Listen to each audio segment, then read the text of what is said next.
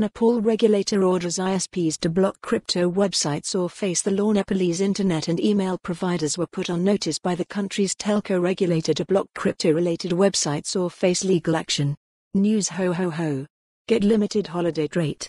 Collect this article as ANF Nepal's telecommunications regulator has ordered the country's internet service providers, ISPs, to block all cryptocurrency trading websites, threatening legal action against those that failed to comply. In a January 8 notice, the Nepal Telecommunication Authority, NTA, ordered ISPs and email service providers to prevent access to websites, apps, or online networks related to crypto. It stated that virtual currency transactions are increasing in recent days, translated, and reiterated that crypto transactions in the country are illegal. Nepal Rastra Bank, NRB, the country's central bank, declared crypto trading and mining illegal in a September 2021 notice.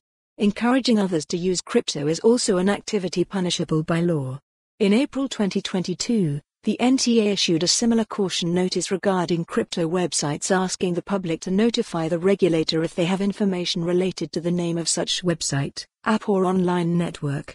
In the April notice, it also threatened legal action if anyone is found to have done or been doing crypto related activities, but did not call for a block on access to crypto services at the time. Related, Bank of India report calls for regulatory coordination on crypto market challenges. However, Despite crypto being outlawed in the country, a September 2022 report by blockchain data firm Chainalysis revealed emerging markets, inclusive. Follow the URL for the full article for more on this story. Visit the news article link.